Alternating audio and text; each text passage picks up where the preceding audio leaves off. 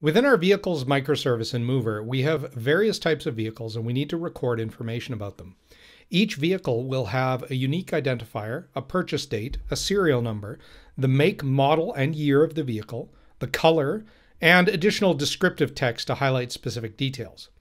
In this exercise, we're going to be setting up the database and the associated tables that will contain this information. We will also create a user for our application to connect to the database rather than using our admin user. This will allow us to customize the permissions granted to the application and will help us minimize the impact of potential security breaches. So in our root project here, I'm going to create a scripts folder. So we'll call that scripts. Uh, and then under that scripts folder, I'm going to get a file and I'm going to call it vehicles.sql. The idea behind this file is that I'm going to put any commands that I need in order to create the database into this file so that if I ever need to recreate the database, I have all the commands uh, ready and available. Um, now, hopefully, in a production database, I don't ever have to recreate it, but you never know. Um, and the other thing, too, is to keep in mind that even if you don't recreate it in production, you may want to make a copy of that database somewhere else, like in a development environment or something like that. So, regardless, it's always good to have the record of all of the scripts that you've run or all of the SQL commands that you've run somewhere. And we're going to put that here. So let's start by creating the database. So we'll do a create database. And this is going to be called mover vehicles. So it's the vehicles database for the vehicles microservice. I'm pre prefixing it with mover just because that'll allow me to keep all of the mover related things together in case there's other um, in case there's other tables in here or other databases rather in here. Um, and it also is in case we actually have something else that goes by the name of vehicles. Uh, this gives us a bit of a namespace to operate within. Um, so that's the basic command. Let me just save that, uh, and then we'll go ahead and execute it. Over in my CockroachDB terminal, I'm just going to very quickly execute that. Uh, you'll see that finished, and we can verify that by doing a show databases. And if we do that, we see that we have the mover vehicles database. So it looks like that worked just fine. Okay, the next thing we need to do is to actually create the table. So I'm going to write a create table statement. Um, and the table I'm going to create, I'm actually going to prefix this with the database name, so mover vehicles, uh, and I'm going to call this the vehicles table. Um, now I don't have to prefix it with mover vehicles. What I could do instead is I could do use mover vehicles to ensure that I'm in the right database when I execute this. Um, but I like to prefix it with the actual context, the database name, um, because that way, if I accidentally uh, execute this in the wrong database context, it won't destroy anything or cause any issues. It will just um, execute it in the proper database context. So I like to be more specific here in this way. Um, so I'm going to do that. And then the next thing is we need to uh, add some columns.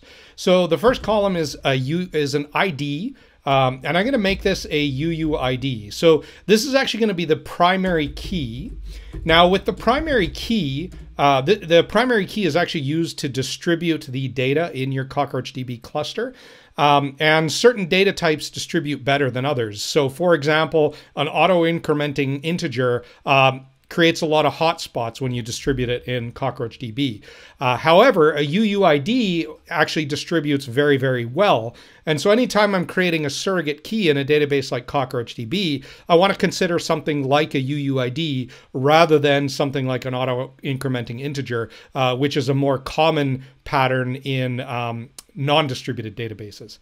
Um, now, the other thing that I want to do is I want a default value here.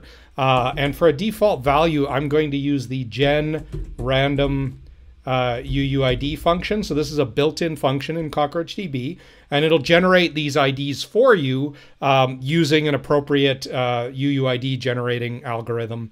Um, so you can feel confident when you use this um, uh, you when you use this that it's going to follow the UUID spec and that it's not going to create hotspots or anything like that within your system. Um, okay, so that gives me my ID. Then the next thing I need is a purchase date. Uh, now, there's a bunch of different uh, data types that I could use here. Um, I'm going to use a date.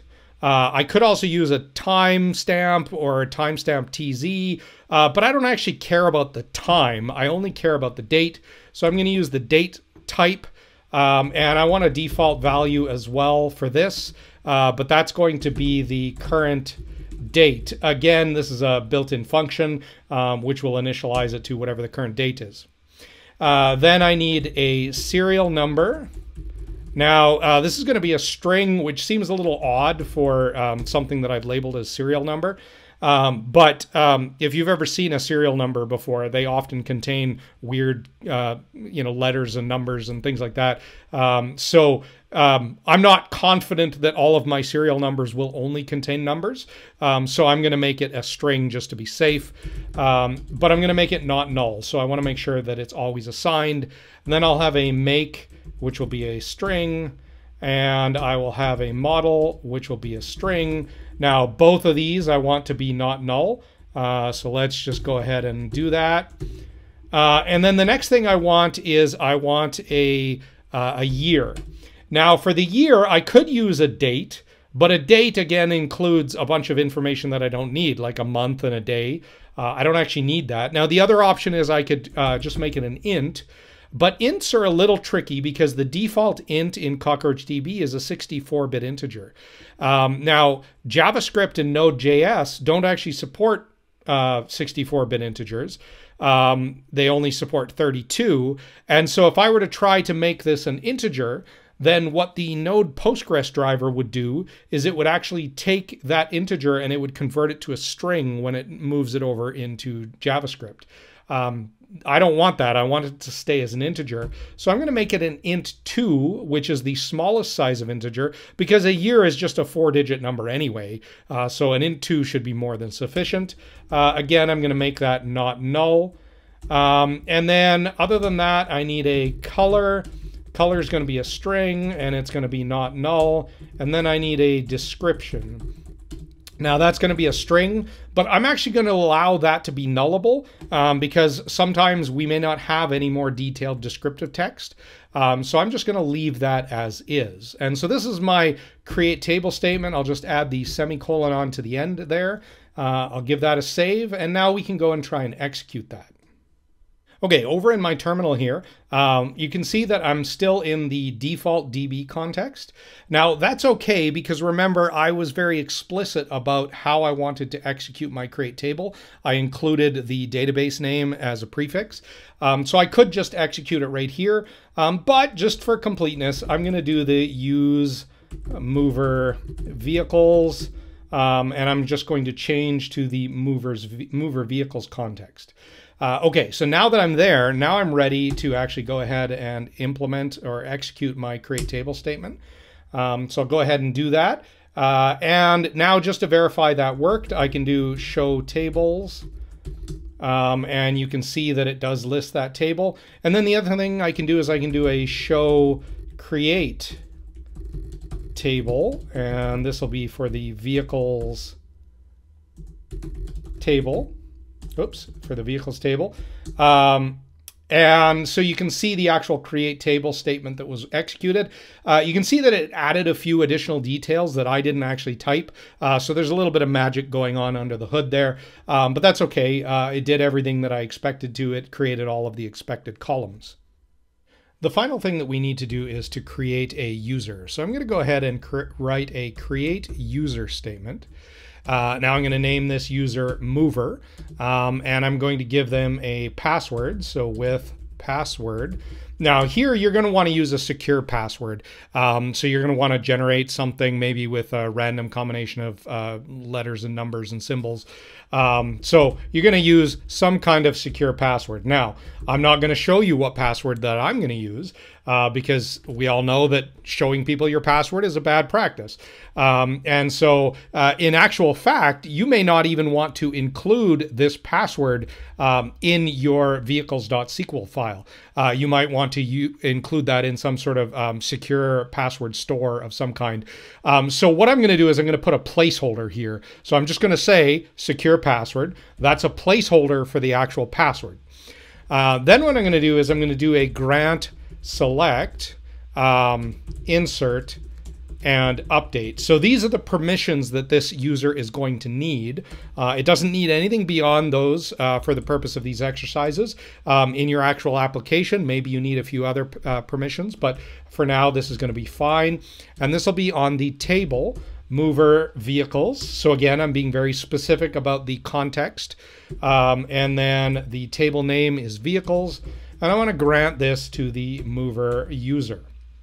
Uh, so now we just have to go ahead and execute that. Okay, over in my CockroachDB terminal, I've already executed the create user statement and the and the appropriate grant statement. Again, just trying to hide the password that I'm using for security purposes. And you always want to be careful with where you expose these types of details. Um, so suffice it to say, I have uh, executed the necessary statements. Uh, and just to prove that fact, I'm going to do a show grants on mover vehicles.vehicles. vehicles. And if you look, you can see that we have uh, the insert, select, and update have all been granted to the mover user. Um, so that proves that I have created that user and I did in fact grant the necessary permissions. So that puts us in a good position and we're now ready to move on to the next set of exercises.